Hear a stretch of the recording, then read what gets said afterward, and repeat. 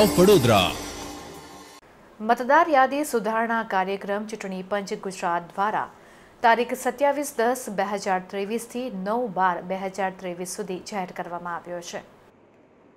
આ ખાસ ઝુંબેશ કાર્યક્રમ હેઠળ નવેમ્બર તેમજ બીજી ત્રીજી ડિસેમ્બરના રોજ તમારા મતદાન મથકો ઉપર તમે મુલાકાત કરી શકો છો.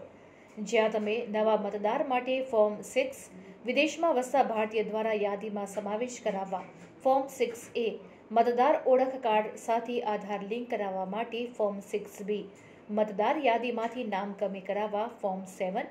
મતદાર યાદીમાં સરનામું, વિગતો બદલવા માટે ફોર્મ એટ આ સિવાય કલેક્ટર કચેરી, મતદાન મથક, મામલતદાર કચેરી, મતદાર નોંધણી અધિકારની કચેરી, બૂથ લેવલ ઓફિસરની પણ મુલાકાત કરી શકો છો. તે સિવાય W W W dot voters dot ECI dot GOV dot in પર લોગિન કરી શકો છો. ચૂંટણી અધિકારી નાયબ મામલતદાર શૈલેષભાઈ પરમાર ડભોઈ દ્વારા મતદારોને જાગૃત બનાવવા માટે વીડિયો પણ વાયરલ કરવામાં આવ્યો છે. આગામી લોકસભા અને ચૂંટણી બે હજાર ચોવીસમાં મતદાન કરવું હોય તો મતદાર યાદીમાં નામ તો હોવું જોઈએ. જો નામ ન હોય તો ફોર્મ ભરી શકાશે. મતદારોએ જાગૃત બની લોકશાહીના પર્વમાં ભાગીદાર બનવા જણાવ્યું હતું. જ્યારે કે નગરપાલિકા, કાઉન્સિલરો, સમાજના આગેવાનો, જ્ઞાતિ ગલ્લી મોહલ્લા, સોસાયટીના આગેવાનોને ડભોઈ મદદનીશ કલેક્ટર અને ચૂંટણી અધિકારી યોગેશ કાપશી તથા મામલતદાર ડીવી ગામિત, ચૂંટણી નાયબ મામલતદાર શૈલેષભાઈ પરમાર દ્વારા ખાસ વિનંતી કરવામાં આવી છે. કે મતદાર યાદી સુધારણા કાર્યક્રમને ભવિષ્યની પરિસ્થિતિને ધ્યાનમાં રાખી ગંભીરતાથી સમજે અને સમજાવે. યાદ રાખજો, જો તમારી પાસે મતદાર ઓળખપત્ર હશે પણ મતદાર યાદીમાં નામ નહીં હોય, તો તમે મત આપી શકશો નહીં. માટે કોઈ પણ વહેમમાં રહ્યા વગર મતદાર યાદી ચકાસો કે તમારું નામ મતદાર યાદીમાંથી કમી તો નથી થઈ ગયું ને?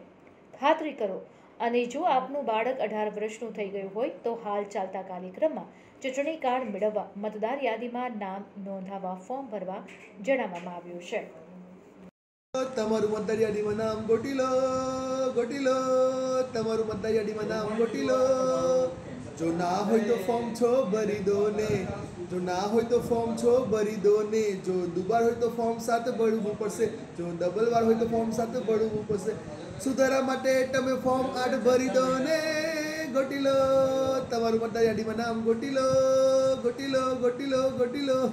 એકચ્યુઅલી વીડિયો વાયરલ કરવાનું ખાલી એટલું જ કારણ હતું. આવું ન્યૂઝમાં કે એવું કંઈક આવવાની ઈચ્છા નથી પરંતુ અમારો જે મતદાર સંક્ષિપ્ત સુધારા કાર્યક્રમ આગામી લોકસભી, લોકસભા સામાન્ય ચૂંટણી બે હજાર ચોવીસના નોંધીને જે રહ્યો છે. પાંચ તારીખ, છવ્વીસ તારીખ, ત્રણ ડિસેમ્બર અને બાર ડિસેમ્બર. નવ ડિસેમ્બર.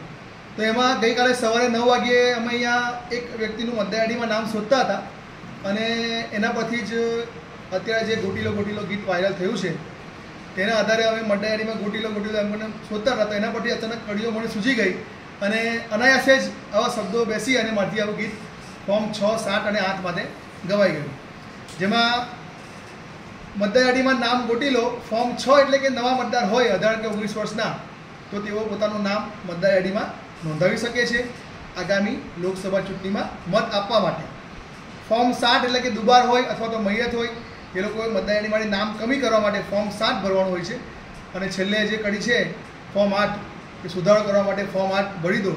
તો એમાં તમે સુધારો વધારે પોતાનો સુધારો હોય, એના માટે તમારે ફોર્મ આઠ, કોઈ સુધારવા માટે ફોર્મ આઠ ભરી શકો છો. આવી એક યુવાઓમાં અને મતદારોમાં જાગૃતતા આવે, એના માટે જ અમારા સ્વીપ એક્ટિવિટીના ભાગરૂપે અમે મામલતદાર ઇલેક્શન અને પ્રાંત ઇલેક્શનના અમારા સોશિયલ મીડિયા ગ્રુપમાં અમે ફેસબુક અને ઇન્સ્ટાગ્રામમાં વીડિયો વાયરલ કર્યો હતો, જેમાં યુવા મતદારો આજે સંગીતના માધ્યમથી અને મનોરંજનના માધ્યમથી વધુ આકર્ષતા હોય, આના ભાગરૂપે અમને ગઈકાલે ઘણા નવા મતદારોના ફોર્મ્સ પણ મળ્યા છે અને આગામી સમયમાં પણ મળશે એવી અમને અપેક્ષા છે.